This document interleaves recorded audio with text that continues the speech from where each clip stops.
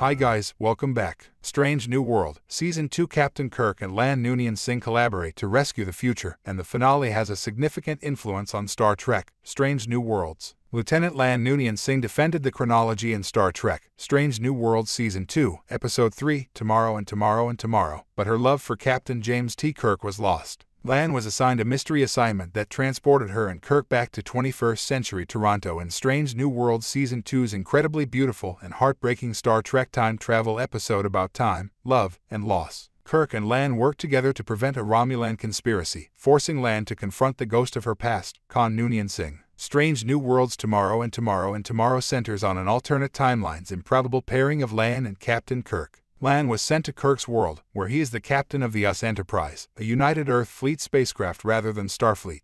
In Kirk's future, Earth is permanently at war with the Romulans, and the Terran home world remains a destroyed battleground rather than the utopian home of the United Federation of Planets. Kirk and La'an become closer as they unravel an attack that will profoundly alter the chronology, and La'an's own life is irrevocably impacted by what she discovers and who and what she loses in the process. Strange New Worlds, what meeting Khan means for La'an La'an understands, at a hidden Toronto facility run by the Noonien Singh Institute for Cultural Advancement, that the Romulans' actual aim isn't a cold fusion reactor, as she had assumed. Instead, the Romulans intended to murder Khan when he was still a child. La'an defended Khan by assassinating Sira, a Romulan operative from the future dressed as a human who had been plotting Khan's assassination for decades. La'an's sentiments and lifetime of loathing for her villainous ancestor were upended when she was put in the situation of not just meeting Khan but protecting him from timeline-destroying Romulans. La'an revealed to Neera Ketoul in Strange New Worlds Season 2, Episode 2, that she secretly possesses Khan's genetic augmentations and fears becoming a monster like him.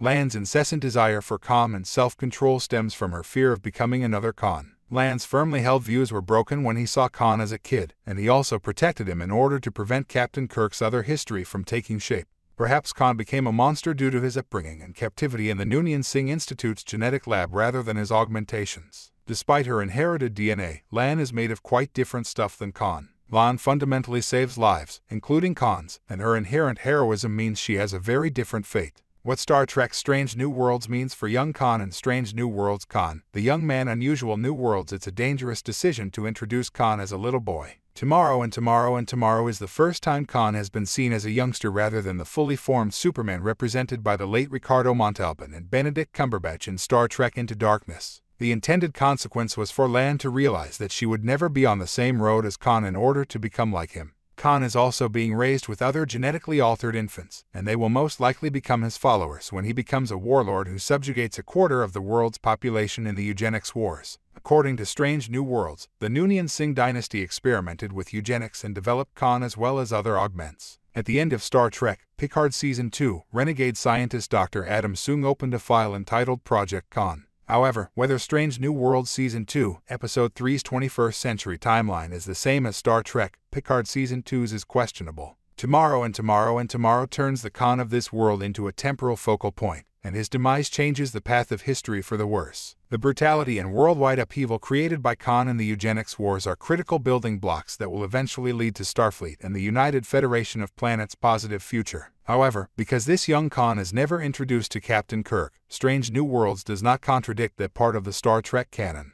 Explained, the Romulans timeline plot against Khan and how La'an stopped it. Unusual New Worlds Romulan Strange New Worlds Season 2, Episode 3 doesn't make it clear if La'an and Kirk are in the prime timelines past or Kirk's parallel timelines 21st century. Deep cover Romulan agents, on the other hand, infiltrated Earth for decades and committed several terrorist attacks in order to halt humanity's development and ensure that they never journeyed to the stars. When one of the Federation's Department of Temporal Investigations agents was wounded, he proceeded to the Future Us Enterprise and hired La'an Noonien Singh, precisely because she shared the same surname as the Romulan's target. Based on Kirk's memories of his timeline's 21st century past, La'an and Kirk assumed the Romulans' ultimate aim was a cold fusion reactor somewhere in Toronto, but it was actually the young Khan at the Noonien Singh Institute that the Romulans were hunting. Meanwhile, Sira, playing as a human conspiracy theorist, briefed Kirk and La'an about the Romulans' plot, and she truly gave them the truth since Sarah accurately felt they might lead her to Khan. La'an and Kirk thought the 21st century Toronto they visited was a moment of divergence that might lead to either of their timelines taking shape, but it's also conceivable that they were in Kirk's timeline all along. Regardless, time itself, according to Sierra, was resisting her attempts to rewrite history, and Khan's existence was supposed to happen in 1992 but is now taking place 30 years later. The adult Khan lost the eugenics wars and departed Earth aboard the SS Botany Bay in 1996, yet the eugenics wars do not appear to have occurred in tomorrow and tomorrow's 21st century Toronto. Strange New Worlds time travel may have united the eugenics wars with World War III in the 21st century, rewriting Star Trek Prime Universe canon at the same time. La'an's murder of Sierra effectively ended the Romulan scheme. With Khan still living in the 21st century, this either produces a different future for this reality, or Captain Kirk La'an knew she may still be born in a different timeline that closely resembles the Prime Star Trek timeline, or it may create a different timeline that closely resembles the Prime Star Trek timeline.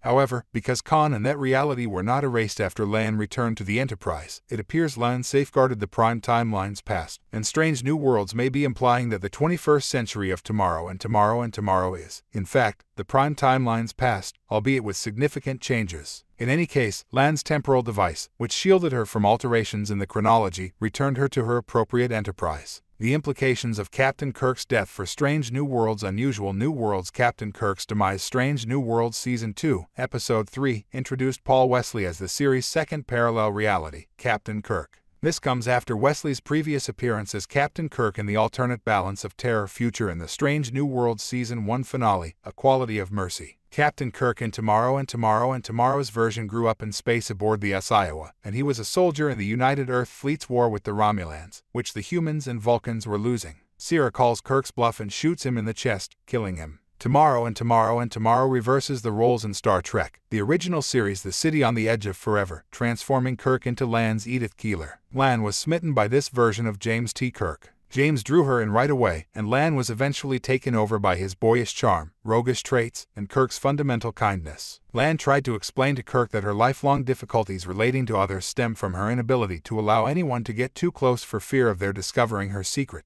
However, this version of James T. Kirk had never heard of Khan Noonien Singh since he was slain by the Romulans and never ascended to power in Kirk's reality. The fact that Kirk didn't know who Khan Noonien Singh was meant that La'an could finally let down her guard and be herself with him. But Sierra's bullet killed La'an before she could drag Kirk into her timeline. When La'an returned to Star Trek's Prime timeline, she promptly called LT, James T. Kirk aboard the US Farragut, and of course, this version of James had never met her before. This implies that when Captain Kirk arrives on board the US Enterprise later in Strange New Worlds Season 2, La'an will have to deal with the identical twin of her departed love, who has no idea who she is. La'an ended Strange New Worlds Season 2, Episode 3, alone, nursing her shattered heart and unable to express her loss and pain to anybody. Strange New Worlds reintroduces time cops from Star Trek, DS9. Department of Temporal Investigations Strange New Worlds It's natural that the Department of Temporal Investigations makes a comeback in a Strange New Worlds time travel episode co-starring Captain Kirk. Temporal Investigations, first introduced in Star Trek, Deep Space Nine Season 5's classic Trials and Tribulation, is a Federation department tasked with maintaining the timeline, and they regard Kirk as a menace. La'an Noonien Singh was recruited by a gravely wounded temporal investigations agent, while another, Agent Imlay, encountered La'an after her successful mission to retrieve her time travel equipment.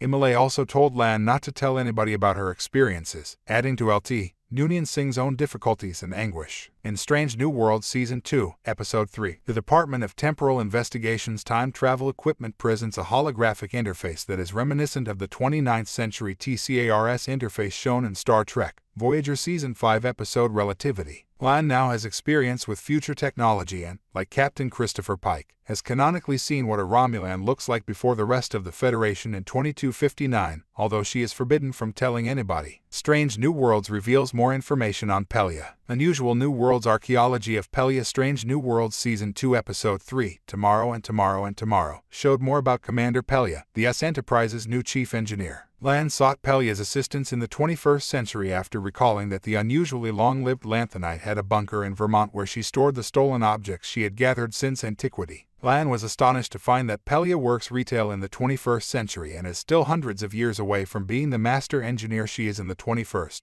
Pelia admits that the last time she attended a math lesson was when Pythagoras developed arithmetic. This was sometime before his death in 495 BC, indicating how ancient the Lanthanite is. As security chief, La'an went from being irritated by Pelia's desire to deposit her illicit treasure aboard the Starship Enterprise to appreciating the Lanthanite in Strange New Worlds, Season 2, Episode 3. However, because they met in another timeline's 21st century, the prime timeline's Pelia is unlikely to recall meeting La'an and James T. Kirk at the archaeology department. But it was Pelia's skill in locating the cold fusion reactor that led La'an and James to Khan. La'an's love for Pelia may be one-sided, but their strange relationship might have a role in future episodes of Star Trek Strange New Worlds Season 2. Thanks for watching.